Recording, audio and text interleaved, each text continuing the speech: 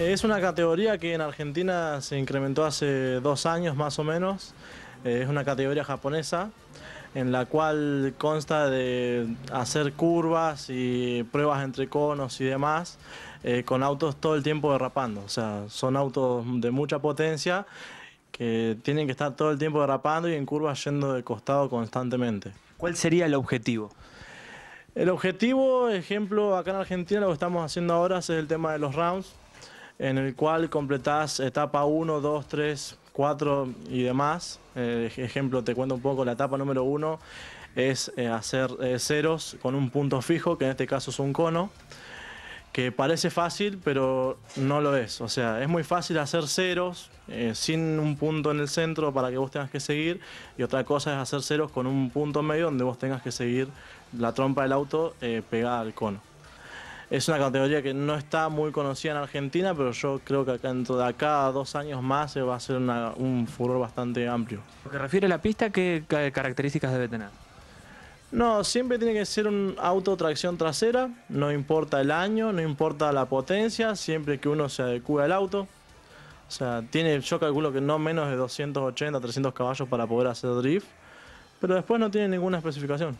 Bien, Nacho, este, justamente eh, están en los primeros pasos. Contanos qué se necesita para poder participar, sumarse a todo esto. Y primero que nada tener la posibilidad de decir, de, dejar las cosas que uno tiene y poder viajar, porque eh, todavía acá en Neuquén no está. Estamos, este fin de, por ejemplo, nos vamos a San Juan, después está Rosario, el fin de pasado el corrió en San Rafael. O sea, la posibilidad de poder ir.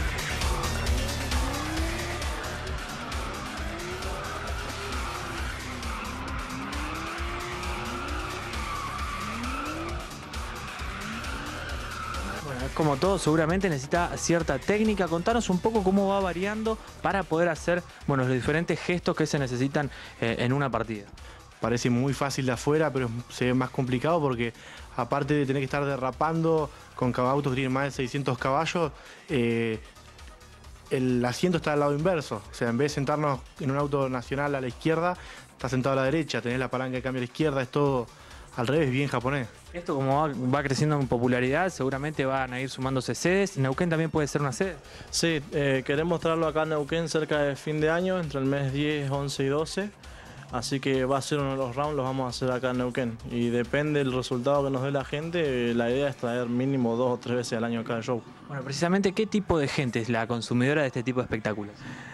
Mira, ver estos autos que son Supras, BM, Skyline, eh, todo Nissan, o sea, ver esos autos no es normal. Así que puede atraer gente que está en el tema de los fierros, como cualquier tipo de gente puede ir a verlo.